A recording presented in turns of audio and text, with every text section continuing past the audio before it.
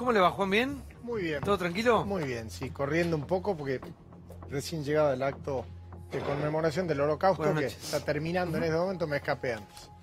¿Parió Isabel ya o no?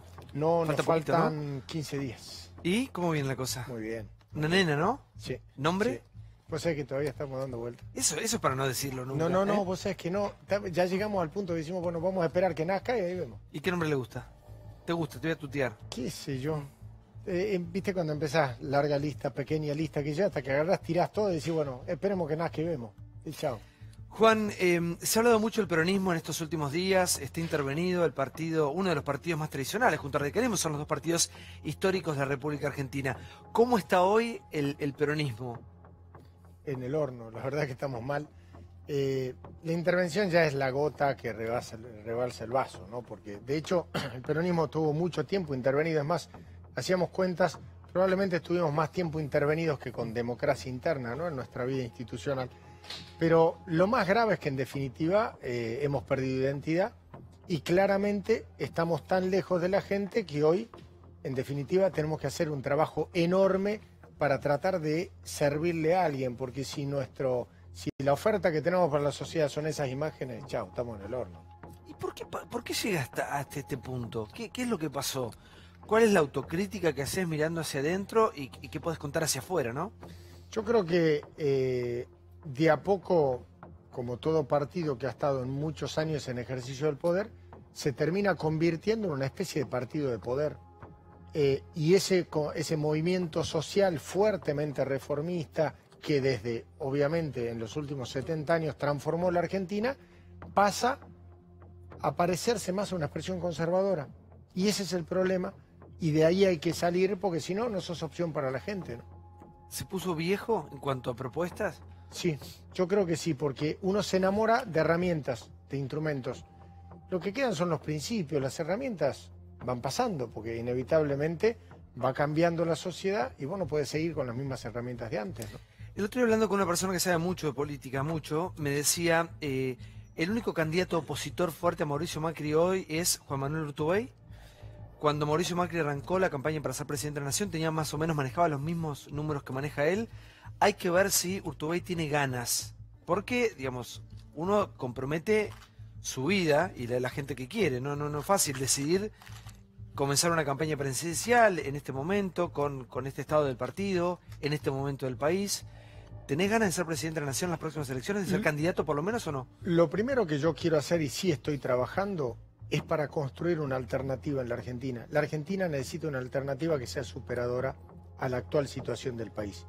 Primero hay que trabajar en eso. Y después tenemos que elegir al mejor de nuestros candidatos. Cual sea el mejor, me parece que debe ser nuestro candidato. Eh, sinceramente, y no es correrme ¿no? del lugar, creo que es demasiado pronto para buscar un candidato. Hoy las campañas, todos los que están acá saben, las campañas electorales son cada vez más cortas, este, se hacen en poco tiempo. Lo primero que hay que tener es desde qué lugar pretendés expresar algo. Y hoy realmente me parece que es lo primero que hay que hacer. ¿no? Sí, coincido en que las campañas son más cortas. Ahora, el candidato está de antes. Sí, Eh, y acá el problema es que uno ve que el, el gobierno ya empieza a presentar sus nombres, de hecho lo, lo pres- lo presentó hace tiempo, y, y uno ve los nombres que hay y dice, bueno, ¿por dónde? ¿Para cuándo? me parece ¿Quién? que ¿Hay algún tapado? ¿Hay algún... Me parece que es demasiado pronto, inclusive me parece que hay mucha ansiedad, inclusive del gobierno, ¿no? Porque falta un año y medio. Acabamos de salir de una elección hace cinco meses, entonces seis meses. Si en nuestra cabeza lo único que está son elecciones, estamos perdidos. Pero vos venías hace 3, 4 años a este programa y me decías, voy a ser presidente en el 2019. Ahora Eh, no lo No decís. sé si en ese momento, sí, bueno, puede ser eh, que trabajé y sigo trabajando y me preparo para eso, no tengas duda. ¿Cuándo es? Sinceramente no tengo la ansiedad de decir ahora o nunca, probablemente por una cuestión generacional. Si me lo preguntas dentro de 15 años, te digo, sí, te juego todo o nada. No sé, sinceramente creo que hay que trabajar. Tengo vocación, tengo ganas de trabajar, toda la historia, pero depende de tantas variables ¿Y enfrentarías a Macri? que sería ¿Llegado el momento? irresponsabilidad. Creo que alguno de nosotros lo tiene que hacer, porque es lo que tenemos que hacer. Porque en definitiva la democracia se trata de eso. Nosotros somos la oposición y debemos de plantear una alternativa Y si no superadora. sos vos, ¿quién? Hay que buscar al que sea el mejor de nuestros candidatos. ¿Cuál para vos es el mejor? sacándote, ¿no? obviamente. No, no, yo ni tampoco yo me pongo. Me parece que, como te digo, falta mucho. Hay colegas gobernadores que tienen una posición importante, hay legisladores, hay dirigentes, hay gente que realmente puede, puede irrumpir, sin lugar a dudas, ¿no? Débora, por favor, quiero, quiero preguntarle también por Jujuy, ¿no? Con lo que ha pasado en Jujuy, sin nada más y nada menos. Bueno, Provincia justamente, ¿no? Eh, si mm. usted eventualmente va a representar el peronismo en el próximo turno electoral, eh, me pregunto yo cuál es su visión respecto de las denuncias de corrupción. Hoy estamos asistiendo nada menos que a un ex gobernador de una provincia cercana, la de Jujuy, tras las rejas, ¿no? Por una denuncia muy seria. Sí, eh, a mí realmente me ha sorprendido y mucho porque era una causa en donde no tiene absolutamente ningún tipo de avance en ese sentido. Y aparte lo que se está investigando es el funcionamiento este, de, lo, de cómo significaba la asignación de fondos para viviendas sociales, que lo sabían en Jujuy, lo sabíamos en Salta y lo sabíamos en la Argentina, que iban destinadas directamente a la organización de Milagro Sala, por eso me llama la atención. Pero el gobernador de la provincia, usted como gobernador no tiene responsabilidad ninguna cuando esos fondos, digamos, institucionalmente van a la provincia, usted como responsable político de una provincia. Sí, como responsable político, sí. Eh, la responsabilidad directa e inmediata, obviamente, son de organismos, sobre todo cuando hay organismos descentralizados. Digamos, en términos jurídicos es bastante más complejo, pero sí, obviamente uno tiene responsabilidad política. ¿Usted cree entonces que hay una intencionalidad política detrás de la atención de Fellner? de alguna manera lo, Yo no lo puedo definir, me ha llamado poderosamente la atención porque eh, no ha habido indagatoria previa, no ha habido procesos, por eso digo... ¿Cree que es inocente Fellner? Eh, lo que pasa es que ahí, quiero reiterarlo, lo que se está discutiendo, en mi, creo que ahí es la responsabilidad política de la descentralización de esos recursos, que repito, sinceramente, tampoco era una decisión política del gobierno provincial. A lo sumo, tiene que asumir responsabilidades por su posición institucional. pero todos saben que esos fondos iban definitivamente destinados a esa organización. la administración y el control eran, eran tarea exclusiva de la provincia, esos, fondos iban a la, Secretaría, al Ministerio de Vivienda, que lo manejaba Cosentini, y el faltante son cerca de 2.000 casas. la, diferencia entre la plata que se entregó y el faltante se ve desde la luna. No es que el gobernador no sabía que esto pasaba. Eh, él mismo reconoce casi ya que desde el 2013 él ya no manejaba la provincia, sin embargo no renunció. Entonces, ¿cómo no va a tener responsabilidad? Por eso hay responsabilidad política. Hay culpabilidad también, porque si vos estás como funcionario público, estás viendo que se, convierte un que se comete un delito, fíjese que el gobierno, él de él aprobó adendas sobre casas no existentes. Es decir, no solamente no se construyeron, no se construyeron las casas, sino que se pide un sobreprecio por, por mayor valor de no sé qué, la casa no estaba y le da... correcto. Y, y, la aprueba la adenda, la, aprueba el propio gobernador y la gente del gobernador. Entonces no puede decir que usted que él no tiene responsabilidad. Te, diciendo que sí había un modelo, la responsabilidad política la debe asumir sin lugar a dudas, pero había un modelo coactivo en la cual determinadas organizaciones debían o debían manejar pero determinados él no lo denunció a eso. ¿Cómo? Él nunca lo denunció. es correcto. La justicia Julia. como sí. ¿Quiénes son los cinco referentes del PJ que están en el espacio en el que usted se siente identificado? Son somos muchos más, pero cada uno va construyendo, pero por cinco ejemplo... o seis que pueda nombrar, porque por ejemplo la gente de Massa dice que usted está en el mismo espacio, que Pichetto, usted, Massa... Hay un bloque importante de diputados que lo preside Pablo Cosiner, que es de mi provincia, el presidente del bloque senador Miguel Pichetto, que, con el cual trabajamos juntos, varios gobernadores de las provincias argentinas que conversamos habitualmente y tenemos posiciones comunes, pero repito... y Massa y Randazo, perdón, que están en la provincia de Buenos Aires, están en ese espacio. Son un espacio político diferente, digamos. Han conversado, sí, y lo vimos por los medios, creo que conversaron con Pichetto y con alguien más, algunos de sus dirigentes estuvieron conversando, pero eh, ellos tienen un espacio, tan espacio político propio, Massa tiene un propio partido político, por lo cual me parece que, este, que se converse, me parece que hay que conversar con todos, pero no más que eso. Eh, vos sabés, Juan, que estamos todos expectantes de qué pasa con el gobierno. Hoy, mucho más un día que se conoce la inflación, una inflación que no se logra controlar. Pero también em, al país lo gobierna el gobierno de turno y la oposición. ¿Cómo construye con esa oposición? Eh, ¿Qué tipo de oposición? ¿Cómo definirían la oposición que hacen ustedes, que por ahí es un poco más cercana al gobierno y no es tanto no es tan combativa, ¿no? Desde la Cámara, y, por lo menos de la forma, sí. Yo tengo la mirada que nosotros tenemos que darle las herramientas al gobierno que eligieron los argentinos para que pueda gobernar. Eso para mí es responsabilidad institucional. La responsabilidad política de las decisiones tomadas la tiene que tomar el gobierno. Nosotros debemos de colaborar, a mi juicio, ¿Para qué? Para que el gobierno tenga las herramientas para hacerlo. Luego, cuando llegue el momento, plantearemos cómo es la alternativa superadora que nosotros le podemos ofrecer a la Argentina, que apunte a una Argentina que vaya para adelante, no para atrás, y esencialmente que pueda resolver cosas que este gobierno hasta ahora no lo ha podido hacer. Sí, Gustavo.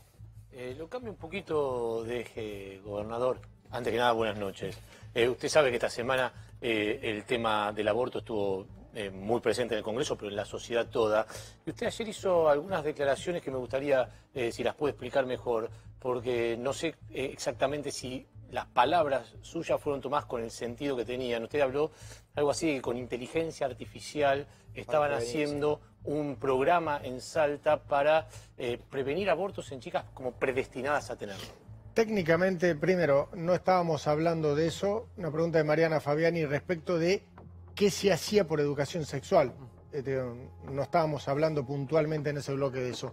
La provincia de Salta, en un acuerdo con Microsoft, hace procesamiento de toda la información que tenemos a efectos de analizar patrones sociales y de esa manera poder adelantarnos a determinadas consecuencias predictivas que se pueden plantear.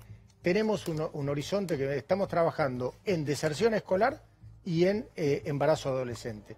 Tenemos en una población de 3.000 y pico de estudiantes sobre deserción escolar y 3.000 eh, niñas este, y jóvenes vinculadas al tema de embarazo adolescente. Es un trabajo que venimos haciendo desde el Ministerio de Primera Infancia, Salud y Educación, que también con colaboración con Nación, a efectos de ir adelantándonos. ¿Qué es lo que haces? Lo que se hace en todos los trabajos en tarea social. Primero detectas población de riesgo, identificas población de riesgo tratando de segmentar lo más chiquito posible y podés ir a trabajar previniendo, con educación, con salud, con distintas acciones de gobierno. Es la única manera de hoy, con las herramientas tecnológicas que tenemos, quiero aclararlo, la innovación es que lo hagamos del Estado, pero eso se viene haciendo en la actividad privada de hace una años. Y en el caso que ustedes no lleguen a ayudar a la chica que se embaraza con un embarazo. Pero, eso, pero no tiene nada que ver con eso. La cuestión de, la, posición del aborto es otro, y lo dije públicamente ahí, me parece que hay cosas que hay que sentarse y discutir. Es totalmente ilógico que en la Argentina una mujer vaya presa. Eso es técnicamente, digamos, si bien hay jurisprudencia que ya plantea eso, si se tiene que modificar en la ley, hay que modificarlo. Me parece que claramente hay distintas situaciones que hay que sentarse y discutir. Cada uno tendrá sus posiciones, unos plantear el aborto legal, otros trabajarán sobre la despenalización, otros tendrán posición diferente, pero digo, son cosas diferentes. ¿Y su posición personal? Hay que hacer todo eso. Yo lo vengo planteando hace rato. Yo creo que en la Argentina, te digo eso, primero, yo no soy mujer. Primero creo que hay que respetar la posición de la mujer, que es la que desde su cuerpo toma las decisiones. Punto uno. Segundo, te estoy planteando, creo que no puede haber mujeres presas en la Argentina por práctica de aborto. Con lo cual, si usted fuera eh, diputado, votaría a favor. Hay que despenalizar. Una cosa es despenalizar. Se nota que no hay reelección en Salta. No, la verdad, no, me parece muy interesante su posición y entiendo que puede estar ligada a que ya en Salta no tiene otro turno electoral. No, no, pero que no tiene nada que ver con eso. Una cuestión, es una, cuestión de sentido común. Te hago una pregunta. sorprende. Una mujer que tiene una posición de Yo estoy de acuerdo ¿La vas a mandar presa? Pero por su, yo estoy a favor de la despenalización. Después nos sentemos, pero después nos sentemos a discutir sobre la cuestión del aborto, el aborto legal, que son dos cosas distintas. En la República Argentina, a través de jurisprudencia de la Corte y con los protocolos ordenados, hay casos de aborto no punible en los cuales está determinado por nuestra jurisprudencia, que eso hay que respetarlo en la ley, que eso hay que sancionar. Entonces, hay que ir avanzando en esas cosas. Cuando nos planteamos de la lógica del blanco-negro, vos me decís, yo estoy a favor del aborto legal, no, pero sí creo que hay situaciones que tenés que avanzar en despenalización. Sí, digo. ¿Cómo le va, gobernador? buenas noches. Buenas noches, ¿cómo estás? Eh, una de las consultas, regresando al tema de los candidatos, que es lo que más nos importa porque es el futuro de los argentinos y falta en política nada. Está la vuelta, si bien hubo elecciones hace poco, falta nada para elegir al nuevo presidente. Yo hace un tiempo les presenté acá a todos mis compañeros un, decálogo de algunas cuestiones que tiene que tener un peronista para representar o liderar la oposición. Eh, se los digo rápido, y si usted cree, considera que tiene todo esto, que son los votos, el consenso interno del peronismo, un proyecto político claro, liderazgo, carisma, representatividad, rol real de opositor, territorio de apoyo nacional para ganar en todo el país, credibilidad y estructura. Sumado a esto le sumo el último 22% que sacó en Salta, ¿cree que puede ser un candidato para ganar y derrotar a Macri? O quizás, y esto no es con ironía ni con agresividad, o cree que de acá al año que viene puede llegar a ser un candidato de Cambiemos o aliado al oficialismo. Mira, la última elección yo obtuve el 50% de los votos. Pretender que eh, la gente, digamos, la transferencia de voto, que este, los salteños cuando votan a un legislador, están votando a un gobernador, a mi juicio es faltarle respeto a la gente, como que son ignorantes y no saben a quién votar. En mi provincia, y quiero ser claro, año 2007 obtuve el 46% de los votos. Mi fuerza política, dos años después, sacó el 31%. Año 2011 saqué el 60% de los votos. Dos años después, la fuerza política obtuvo el 29%. Luego obtengo este, yo el 50% de los votos y la fuerza política no obtiene 22, obtiene 25%. Pero al final del camino, eso es una anécdota. Lo importante es quién puede representar de verdad una alternativa superadora. Si vos me decís, alguien que tenga los votos, y bueno, fácil, la única manera es que tengamos un gobernador de la provincia, un candidato de la provincia de Buenos Aires. La pregunta es, ¿los candidatos de la provincia de Buenos Aires habitualmente ganan la presidencia? Nunca. Entonces, algún problemita hay. Pero te lo llevo a otro, terreno, eh, Juan Manuel, porque vos no das candidatos para el sí. Candidatos para el no. Vos en algún momento, cuando todavía Cristina Fernández estaba iluminada. y no estaba, un caso, Cristina tiene estaba, votos. Eh, claro, no estaba en, esta, en la provincia. En esta recesión, eh, vos dijiste Cristina Fernández como que tiene un punto final. Después dijiste tiene una ola amarilla y dijeron todo, che, ¿cómo va a decir un gobernador nuestro? Y después se dieron los resultados muy contundentes en, la legislativa. ¿Seguís con la misma postura que Cristina Fernández y gran parte de esa gente forma parte de un pasado? ¿O te sentarías para armar un frente? Porque algunos creen que tienen que ir todos juntos, más allá que hoy es Gualeguaychú, Catamarca y San Luis y que marca diferencias sustanciales entre los grupos. ¿Te sentarías con esa gente?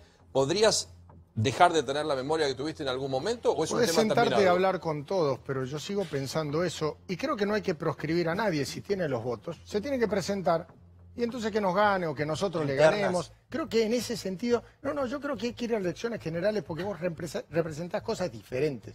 ¿A qué me refiero? Si yo voy a ir a plantearle a los argentinos que quiero una instancia superadora, que no quiero volver atrás, que quiero ir a una lógica de relacionamiento diferente a la que se vivió en la Argentina en el pasado, a un modelo económico de economía abierta, es cierto, generando alientos e incentivos a los sectores económicos de la producción local, cosa que hoy no estamos viendo, y esas cosas, y me presento junto con otra persona que dice todo lo contrario, entonces estoy estafando a la ¿Pero gente. qué dirías? ¿A una interna? No, no, dice En ese caso, generales. una Yo paso. creo que hay que ir a elecciones. Ay. Después nos sentemos y discutamos todo lo demás, pero Ah. sinceramente creo que pretender que la gente eh, no se da cuenta y decir, bueno, vamos todo, el famoso cuento de Todos unidos juntos. triunfaremos, este, es un cuento, la sociedad argentina, este, me parece que nosotros no podemos subestimar a la gente. Uno más uno más uno no es tres, ¿Crees es que, menos dos. ¿Crees que Cristina puede ser presidenta del 2019 o no? Yo creo que no, pero tampoco puedo proscribirla. Si quiere competir, que Obvio, compita. obvio. Ella ya fue candidata O sea, de Unidad todos por fuera del Ciudadana. PJ. Sí, pero no la unidad, está claro, no la unidad de... Yo no creo en eso. Yo no creo en la unidad a cualquier precio. Yo no, quiero, no creo en la unidad Preferible ir solo y sacar tres puntos a la unidad y gobernar. Correcto. Bueno, es lo que hizo. Randazo, ¿no? Claro. Y sí, Bueno, pero- solo Deberían ir a una interna, A ver, sí. pero Cristina Está es la que no quiere. está perfecto, no, no está mal. Cristina- Randazzo hubiera ido a una interna, Cristina no quiere. Está bien, es cierto, Cristina debería ir a una interna. Cristina cree muchas veces, Coincido. tal vez por, no, no, no, por el pero lugar para, para que, un minuto. que son empleados. porque Juan, Juan Manuel dice otra cosa. Él dice no puedo ir a una interna con alguien que opina la antítesis de lo que yo estoy proponiendo, digamos. Es otra Pero digo, cosa. nos pongamos de Sí. acuerdo primero en qué queremos, porque el gran drama es hablar solo de candidaturas. Nos pongamos de acuerdo como espacio político, qué le queremos ofrecer a la gente. Pero si uno le ofrece, yo voy a pintar esto de blanco, y otra persona del mismo espacio le dice, yo voy a pintar Claro, esto eso, de negro, claro, no. ¿cómo haces para...? Para, eh, digamos, es raro. Sí, Entonces, Liliana. le- le- lo llevo a qué cosas ve bien de este gobierno y qué cosas ve mal de este gobierno. Yo creo que en la Argentina hemos avanzado en niveles de tolerancia y diálogo político que antes no existía. A nivel entre relación nación-provincias, hemos suscrito dos pactos fiscales que devolvieron algunas de las, de las responsabilidades y asignaciones que tenían las provincias y que se lo, en otro momento se los había dado a la nación. Creo que se han resuelto algunas cuestiones como salir del default, este, eh, salir del cepo cambiario. Me parece que hemos ido avanzando en algunas cosas. En otras me parece que, por ejemplo, seguimos teniendo niveles de inflación que dos años después, evidentemente, las cosas no funcionaron. El déficit fiscal con el cual se cierra el año 2007 no se justifica con la caída de subsidios que hubo en el último tiempo. Entonces, evidentemente, tenemos algún problema en eso. Me parece que se trabaja sobre herramientas de política monetaria como única herramienta de política económica. ¿Y hay diálogo con la oposición? Se habla y eso está bueno. Por ah, eso se habla porque algunos reclaman que no, que gobiernan solos, que no... Nosotros hablamos, por lo ah. menos los gobernadores de provincia y los legisladores también, se habla de ahí a que hablar significa que el gobierno haga lo que nosotros creemos que tiene que hacer, Igual hay una distancia enorme, para eso gobiernan ellos. Igual lo critican y marcan lo de diciembre, donde dicen que muchos de ustedes los tenían agarrados, vos sabés de dónde, con el tema de la obra pública y del dinero a las provincias, y que por eso muchos votaron la supuesta reforma jubilatoria, o que los eh, gobernadores van a desdoblar la elección, o que están muy atentos a Macri, porque Macri, como hacía el kirchnerismo, los tiene agarrados y presionados. Mira, yo desconozco esa situación, pero claramente debo decir que algunos pensamos que la necesidad de ayudar al gobierno para que la Argentina vaya adelante está por arriba de nuestra posición electoral y la ventaja chiquita de corto plazo. Y a la larga, ¿sabes qué pienso? Que la sociedad argentina lo reconoce. Porque solo los políticos, en, en ámbitos como estos, o en los políticos, nos encanta pelearnos todos con todos. Pero cuando salís a la calle, la gente lo que te pide, flaco, dejen de pelear y pónganse a laburar. Mm. Y creo que eso es lo que nos está pidiendo la gente. Muchas gracias, eh, Juan Manuel Tubey. ¿eh? Muchísimas gracias por venir.